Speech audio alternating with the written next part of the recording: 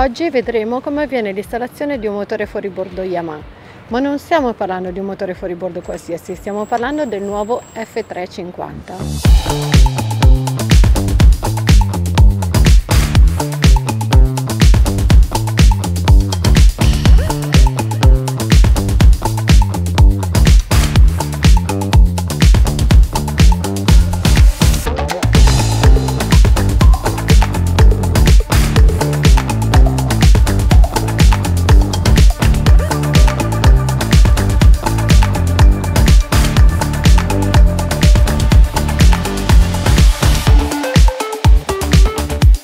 Il corretto posizionamento del motore sullo specchio di poppa è determinato da una regola estremamente semplice. Immaginiamo che all'altezza di questa piastra di antiventilazione disegniamo una linea retta che deve congiungersi al punto più basso della nostra carena. Questa piastra deve essere o alla medesima altezza dello spigolo della carena o eventualmente in una posizione più alta, ma mai e in nessun modo inferiore allo spigolo stesso. L'F350 Yamaha va a completare la gamma. Un 4003 di cilindrata ha 6 cilindri a V e 24 valvole. Questo motore presenta un corpo farfallato da 81 mm, è grande tanto quanto i fratelli maggiori della linea XTO e al contempo è l'8% più grande rispetto al fratello minore, l'F300.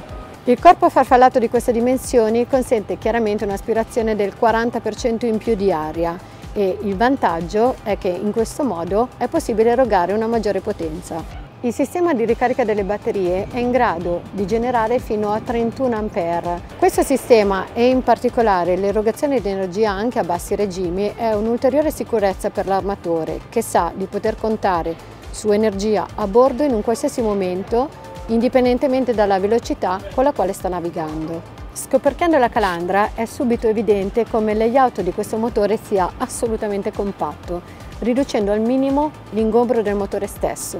Questo è uno dei vantaggi di questo motore, è il DES, Digital Electronic Steering, ovvero sia lo sterzo elettrico digitale integrato. Il vantaggio dello sterzo elettrico digitale integrato è prima di tutto il massimo controllo del motore, e in seconda battuta il maggior spazio a bordo specialmente nell'area della poppa. Nel cuore di questo motore i cilindri fusi al plasma. Questa tecnologia ha un grandissimo vantaggio. Smaltisce il calore generato dal motore stesso e al contempo consente di alleggerire il peso del motore. La fasatura variabile, come tutti i motori della gamma Yamaha a partire da 200 cavalli, migliora la coppia a bassi e medi regimi questo consente anche una planata migliore. Il compito di questo dispositivo è quello di avvisare l'armatore in caso di presenza di acqua nel sistema di alimentazione. Il filtro decantatore sotto calandra è quindi fondamentale in termini di sicurezza.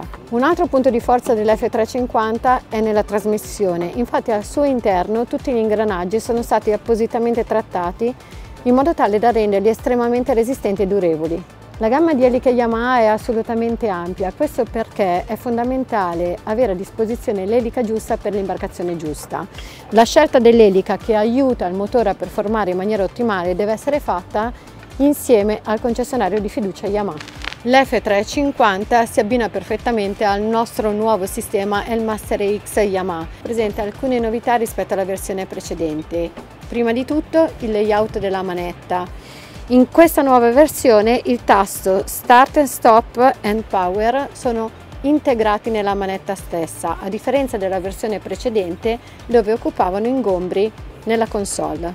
Vediamo insieme ogni tasto di questa manetta quale funzione specifica svolge, partendo dalla funzione Station che serve per attivare eventuali seconde stazioni.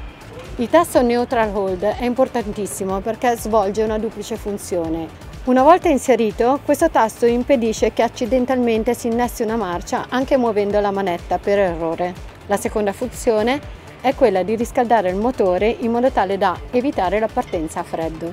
Il tasto Trim Assist è fondamentale in termini di performance durante la navigazione. Infatti, grazie a questa funzione, il trim, ovvero l'assetto dei motori, viene definito in modo automatico e questo consente di conseguenza di raggiungere il miglior assetto possibile per l'imbarcazione.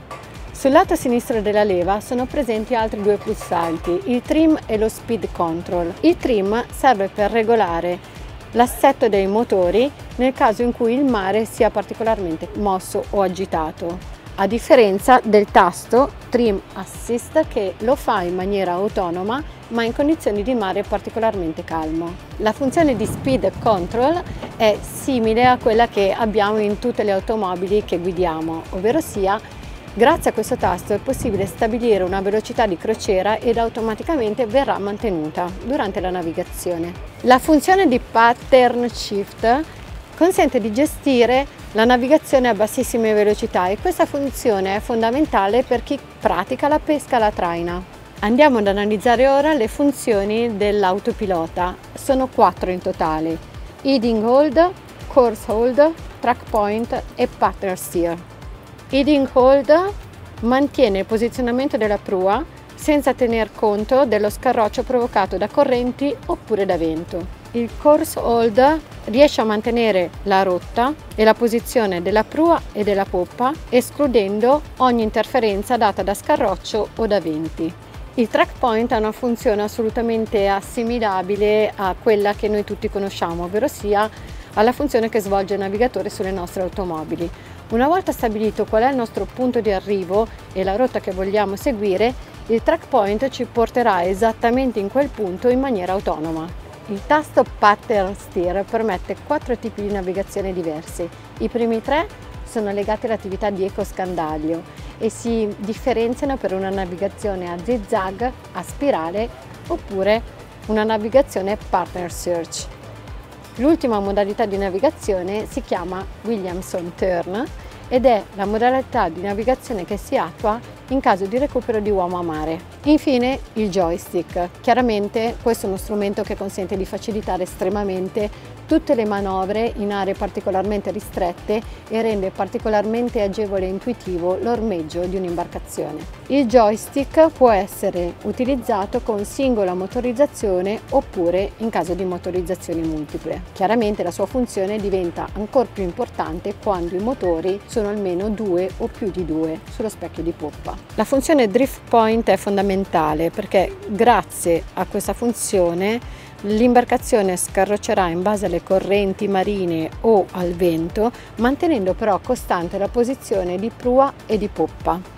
La funzione fish point è invece fondamentale per mantenere l'imbarcazione esattamente in una determinata posizione. Questo significa che l'imbarcazione rimarrà ferma in un punto, potrà eventualmente girare a 360 su se stessa, ma non si sposterà. Stay point è l'ancora virtuale.